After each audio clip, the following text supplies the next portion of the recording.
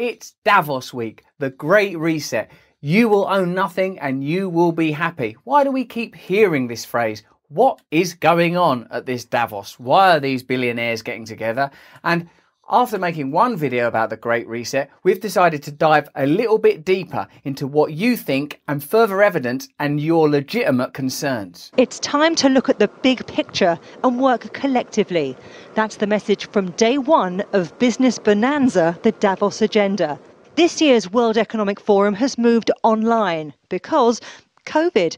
Davos this year cannot be the usual networking fest it's built its reputation on. Davos regulars like Angela Merkel and Bill Gates will check in from around the world, as well as Vladimir Putin, Prime Ministers of India, Japan, Spain, Greece, Israel, Singapore, Presidents of France, Korea, Argentina, South Africa, Secretary General of the United Nations, Director General of the World Health Organization, Governor of the Bank of England, Secretary General of Interpol. The agenda has been shaped by the pandemic and organized around the Great Reset. So I suppose when you talk about it being a conspiracy, it ain't a conspiracy if it's candidly spoken about and uh, explicitly stated. That's not a conspiracy, that's a sort of an agenda.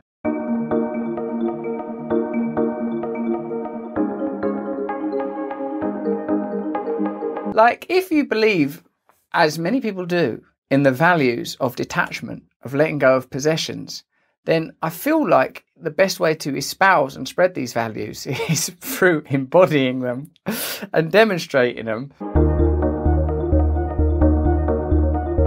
Nothing to worry about there, that's just a drone delivering a package to your door. That drone couldn't be used for any.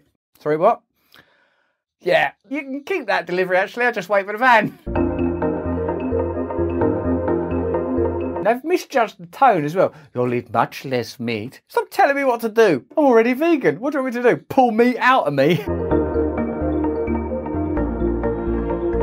An occasional treat, not a staple. The problem is with this video is it's the exact mood of like a dystopian thing that you'd be sort of forced to sit and watch with matchsticks holding your eyes open in a great big terrifying cinema.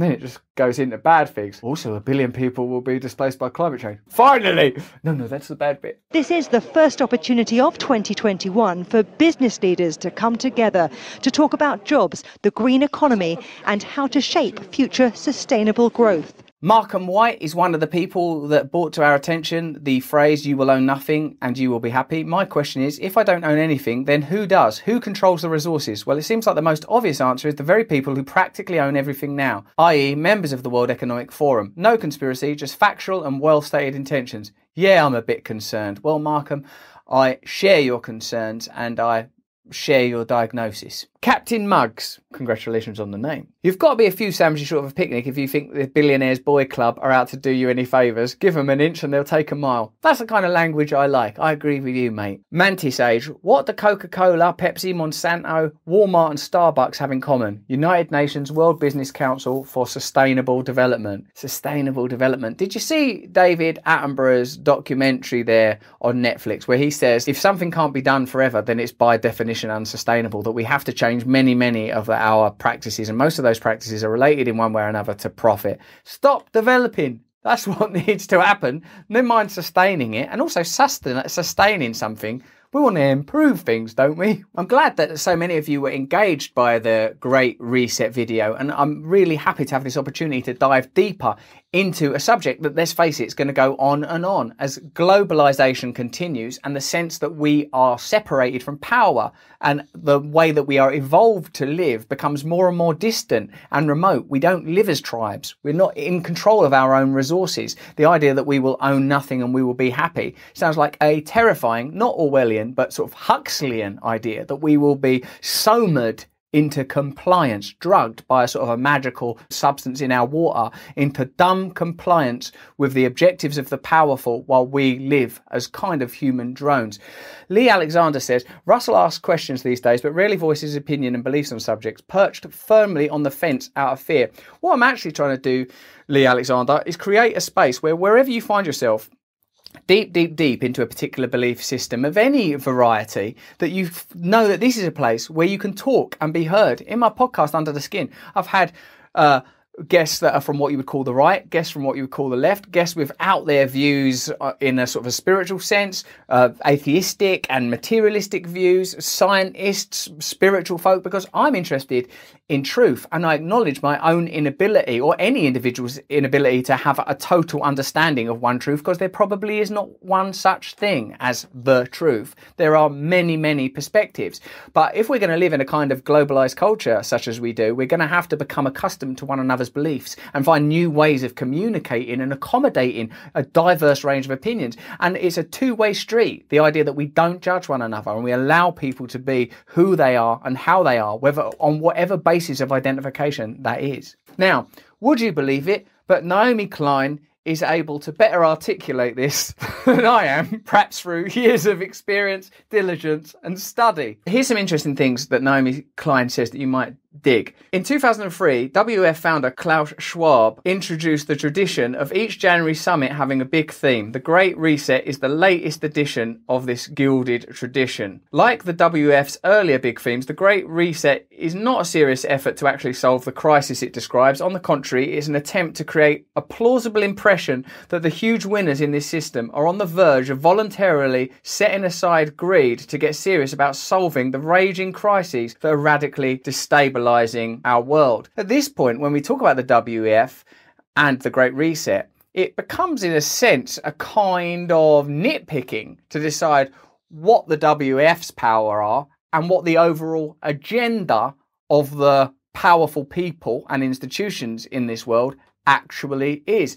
Naomi Klein herself says, while questioning the actual power of the WEF, all kinds of dangerous ideas are lurking under the Great Reset's wide brim. From a reckless push to more automation in the midst of a jobless crisis, the steady move to normalise mass surveillance, biometric tracking tools, and the very real problem of Bill Gates' singular power over global health policy. Now, Naomi Klein has done the hard work so that we don't have to. These, Naomi Klein says, are legitimate concerns. I think what Naomi Klein queries is the conflation of the Great Reset, in particular with cynicism towards climate change. Because when it comes to climate change, who benefits from the idea that human activity does not impact climate change? Let's just consider that question. Whatever your personal beliefs are on the Great Reset and the way that global power and globalism affects ordinary people, where I bet you and me see things exactly eye to eye. Well, who wouldn't want regulation introduced around energy companies? Who wouldn't want to acknowledge that fossil fuels are damaging the environment? Who doesn't want the way that we power our lives to alter people that benefit from these existing institutions and corporations. Take, for example, the broadcasters that are cynical about climate change. Just one example at random Sky News, and uh, you know, that's a Rupert Murdoch owned channel.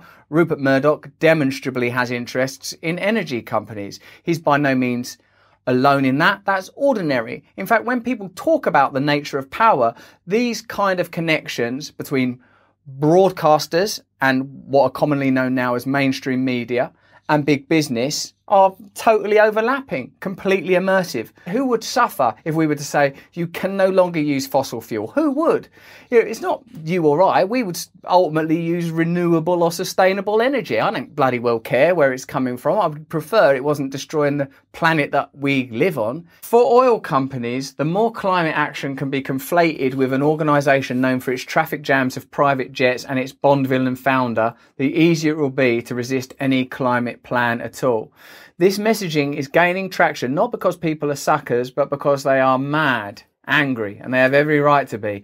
Lockdown policies have demanded months of individual sacrifice for the collective good without providing the most basic collective protections to keep families from slipping into starvation and homelessness or to keep small businesses afloat. Meanwhile, trillions have been spent to backstop markets and bail out multinationals, and pandemic profiteering is rampant. Is it any wonder that so many find it entirely plausible that the same elites who expect them to swallow all the coronavirus related sacrifices while they party in the Hamptons and on private islands would also be willing to exaggerate the risks of the disease to get them to accept more bitter green medicine for the common good? So, I suppose what Klein is saying is that we should be extremely cautious around suggesting that the pandemic is not real. I know that a lot of you have got strong views on that. Her point is that we oughtn't conflate ideas around climate change with this group and its obviously economic led and power driven intentions. What's required to actually combat spiraling poverty, joblessness, climate breakdown, and informational degeneration, regulate the companies that have created these crises, tax them, break them up, and in some cases put them under public control. This is an aspect of solution based thinking that there is a strong imperative to mask, negate, ignore. I think Naomi Klein's contribution to this conversation is telling. Naomi Klein is a well schooled, lifelong activist whose book No Logo changed the direction of this conversation around the power of global corporations forever. And I think her involvement in this conversation can perhaps reclaim from the territories where it currently dwells, perhaps uh, reframing the way that climate change is seen and ought to be included in the um, morass around globalism and its consequences, not maligned and seen as a sort of a conspiratorial component. I've really enjoyed hearing your views and comments and opinions and indeed receiving your insights and your education on this matter. It's changed my opinion. So whether you want us to look deeper into Klaus Schwab's book or to learn more about Bill Gates's unique position of power, let's keep this conversation going. The Great Reset, whether or not the WEF is literally a powerful organization or merely a front for the way that the powerful manage globalization, to me seems like a rich and lively topic. And we're in a unique time. And these kind of conversations, this kind of discourse is precisely what we should be having. Let's keep it going. Comment below, like, subscribe, and share. Thank you.